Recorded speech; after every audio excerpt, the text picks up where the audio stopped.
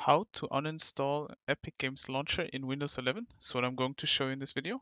We will start off by left clicking the Windows Start button and searching for uninstall.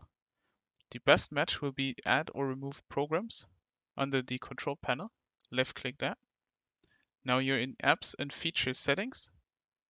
Wait till this loads because this has to load all the apps on or programs on your PC.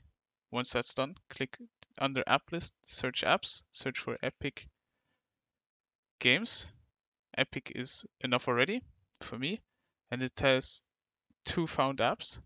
The first one is the Epic Games Launch, and the second one is Epic Online Services. In order to de uh, delete these or uninstall them, right left click these three dots on the right, click uninstall. This app is related info will be uninstalled as well. Click uninstall. Now please wait Windows configures the Epic Games Launcher. And this way it will uninstall the Epic Games Launcher completely from your computer.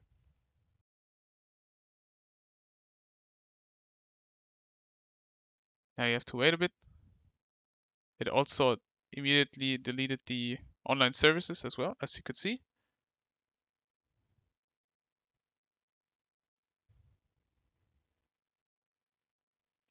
And we are done.